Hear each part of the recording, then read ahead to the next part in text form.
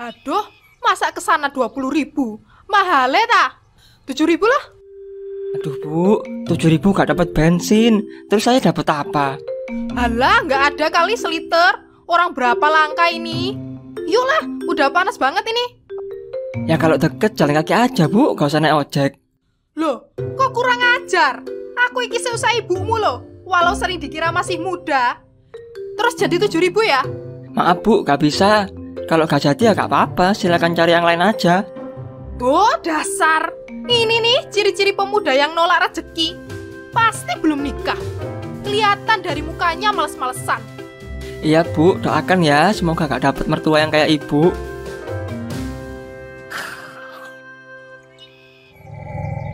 Sebelum nonton, jangan lupa klik subscribe dan loncengnya ya.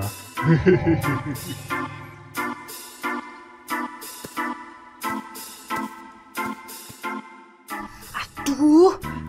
juga ya.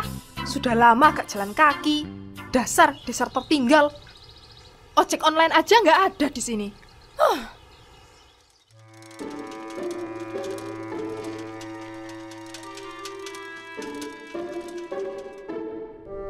Eh, itu kan Pak Arman. Masih miskin aja hidupnya. Beca! Silakan Bu, mau ke mana? Sama aku? Ya wajar sih ya, aku kan awet muda, hidup enak. Hmm, tunggu, tunggu, tunggu. Ambar ya? Tetangga desa yang dulu sekelas? Iya, bener. Pangling kan karena makin cantik aja, nggak kayak alumni-alumni yang lain. Eh iya, soalnya kan dulu langsing ya. Sekarang ya gitu, agak berbobot. Udah deh, langsung antar ke rumah. Udah panas banget di sini. Ke rumahmu? Pakai nanya, iyalah, ke mana lagi emang? Rumah itu mau aku jual daripada mubazir. Anak-anakku nggak ada yang mau tinggal di desa terpencil kayak gini. Loh, bukannya itu rumah bagian adikmu ya? Kok bisa kamu jual? Iya sih, dia minta tolong jualin. Aku dapat 50% katanya. Gitu ya. Semoga cepat laku ya. Karena orang-orang yang sudah tahu mengenai rumah itu itu takut. Takut kenapa? Eh, bukan apa-apa. Ini kita sudah sampai.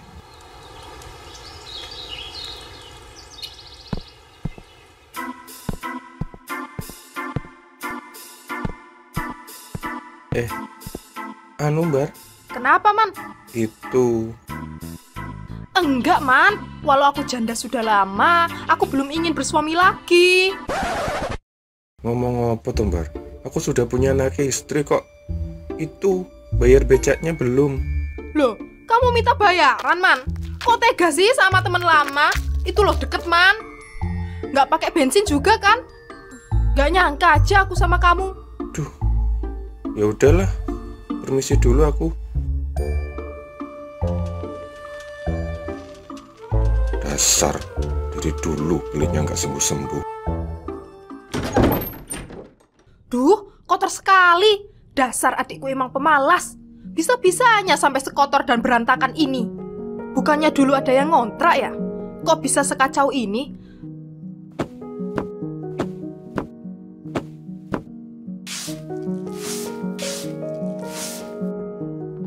Aduh, ini di mana ya kuncinya? Tinggal ini aja yang belum kebuka. Apa macet ini sepertinya? Apa aku minta tolong orang sekitar sini ya?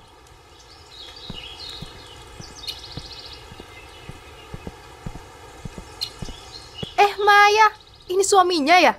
Iya, Bu. Ini Bu Ambar ya? Wah, kamu masih inget aja. Padahal terakhir ketemu pas kamu SMA ya. Udah punya anak berapa sekarang? Masih belum, Bu. Masih usaha ini. Wah, kok belum sih? Anak ibu aja udah dua. Ayo segera dibuat. Nanti keburu tua, keburu nggak kuat ngurus anak. Kami juga pengen cepet-cepet, Bu. Tapi, itu kan kehendak yang kuasa. Ya kami cuma bisa sabar. Halah, ya usaha dong. Jamu kek, ke dokter kandungan kek. Jangan males-malesan. Enak loh punya anak. Kasihan orang tuamu, pasti ngiri sama yang lain yang udah punya cucu. Kamu anak tunggal kan? Iya, Bu. Anak tunggal. Mereka juga nggak nuntut segera dapat cucu kok. Halah, bohong itu. Biar nggak nyakitin hatimu. Ya sudah, permisi bu. Mau ke mana? Ini ibu mau minta tolong ke suami kamu buat bukain pintu kamar. Macet kayaknya lama nggak dibuka. Maaf bu, nggak bisa. Suami saya harus segera bekerja. Ini saya mau antar naik kendaraan umum di depan. Sebentar aja kok, nggak lama. Maaf bu, nanti saya telat. Loh, loh, loh, loh. Dimintain tolong kok nyakitin hati gitu jawabannya. Duh, males banget aku kalau dia tinggal di sini. Julidnya nggak berubah. Padahal dulu semua senang dia pindah dari desa ini. Iya, terlihat dari wajahnya. Aku kalau misal nganggur juga nggak mau dimintai tolong. Dek, dek, bisa minta bantuan sebentar nggak? Iya bu, apa yang bisa saya bantu? Minta tolong bukain pintu kamar ibu ya. Macet ini. Bisa bu, kebetulan saya sering betulin pintu macet di kosan. Oh, anak kos toh. Pantes kok ibu gak kenal. Karena hampir semua orang di sini tuh ibu tahu. Dan semuanya itu kenal ibu. Yuk, yuk, masuk. Kamu kerja di mana, nak? Jadi sales bu, sales barang elektronik. Jadi gajinya nggak menentu ya? Iya, alhamdulillah lah bu, cukup buat saya dan bantu adik-adik sekolah karena ibu saya janda. Udah nikah? Belum bu, masih lajang. Loh, aku kira udah ada anak loh. Ayo, jangan ditunda-tunda, segera nikah. Biar ada yang ngurusin. Maunya ya gitu bu, tapi masih fokus bantuin ibu dulu, kasihan. Ibumu beda ya sama aku. Ibu dulu janda masih bisa ngurusin anak-anaknya sampai kuliah. Mungkin ibumu agak males kayaknya.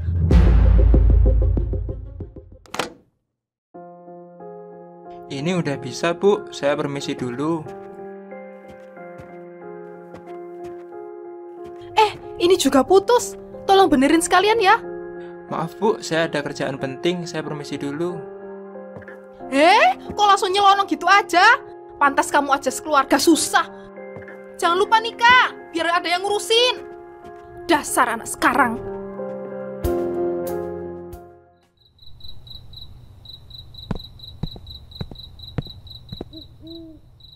Hmm, moga-moga aja rumah ini cepat laku. Aku harus segera mendapatkan uang bagianku. Atau uangnya aku pakai dulu aja ya. Adikku juga nggak terlalu butuh sekarang kayaknya.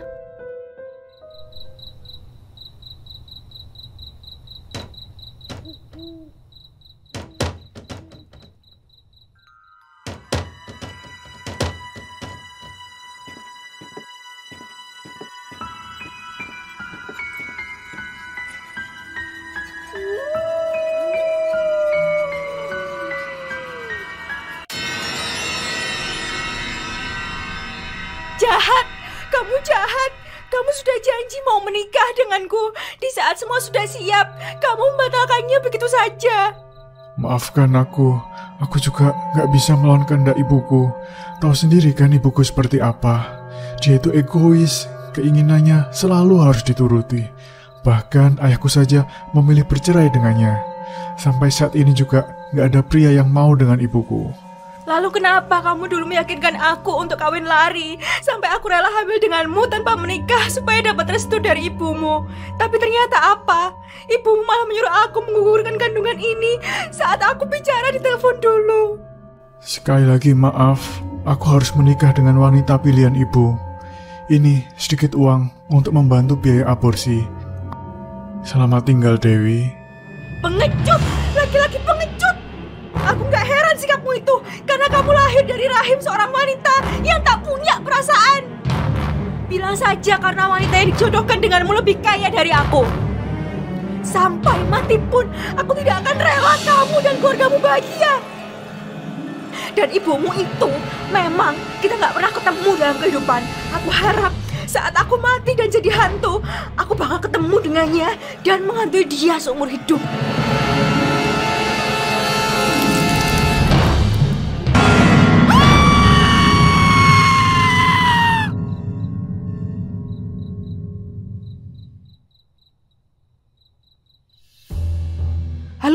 kamu di mana? Maaf bu, aku gak bisa bilang. Polisi sedang mencariku. Selain KDRT, apalagi yang buat kamu diburu polisi? Ibu sudah susah-susah ke sini mau jual rumah demi bisa berdamai dengan istrimu. Mau bikin ulah lagi. Jual narkoba, Bu. Gimana lagi aku bertahan hidup dalam pelarian? Ibu mau tanya, sebelum kamu menikah, kamu pernah pacaran sama seseorang kan? Dulu ibu sempat ditelepon sama dia dan mengatakan dia hamil. Jujur. Iya, Bu. Kok ibu bisa tahu? Namanya Dewi. Lalu, apa kamu menyuruhnya tinggal di rumah tantemu ini? Iya, karena kata tante suruh nempatin gratis. Aku sudah lama nggak kontakan sama dia. Dia sudah mati sesaat kamu bertengkar dulu dengan dia. Mah, mati, Bu.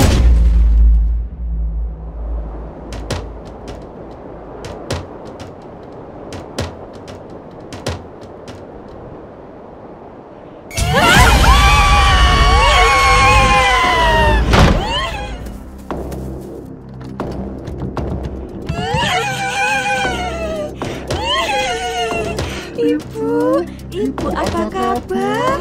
Sehat, Bu? Aku punya pertanyaan buat ibu. Ibu kapan mati? Ampun, ibu minta maaf. Jangan ganggu ibu.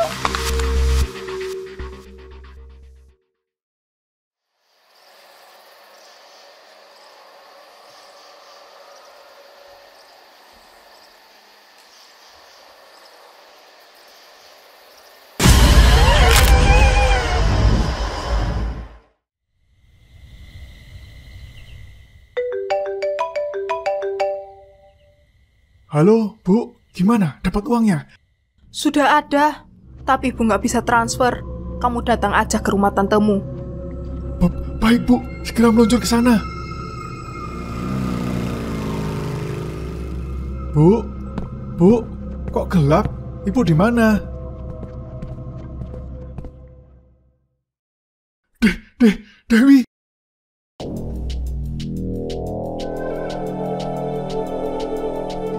Bukannya kata ibu kamu sudah mati? Mana mungkin aku mati, Mas? Kita kan janji hidup semati. Jika aku mati, kamu juga harus ikut mati, kan? Enggak. Di di mana ibu?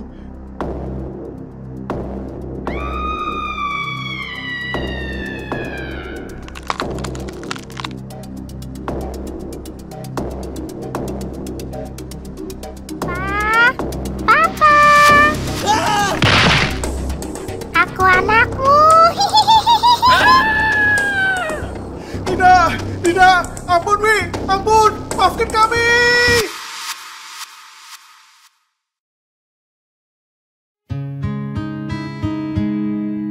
Beberapa saat kemudian, polisi yang memantau keberadaan Roni datang dan langsung menangkap Roni yang sempat pingsan. Sementara itu, beberapa hari kemudian, Ambar terlihat kurang sehat. Setelah kejadian itu, dia mengalami stroke dan kesulitan berbicara. Oh, anaknya Bu Ronan toh. Kasus narkoba dan KDRT ya? Gimana sih didik anaknya, Bu? Iya, gitu omongannya selangit dari dulu. Nyatanya, aduh, kasihan amat.